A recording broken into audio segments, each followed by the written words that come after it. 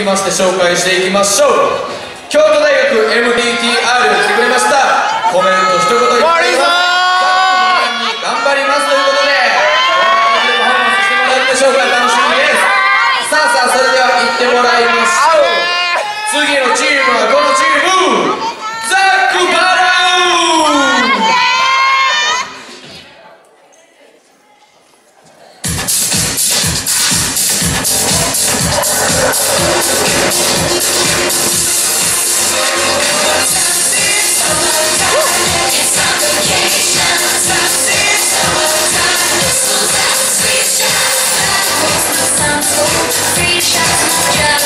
Education vacation,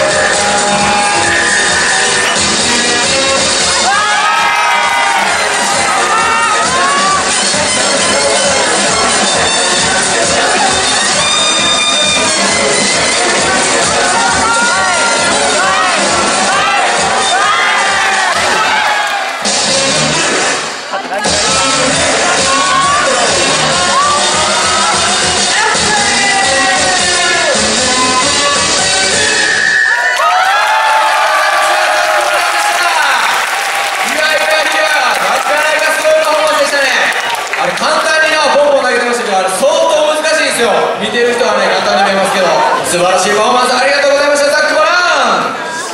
さあさあこの流れでいきましょう。続きまして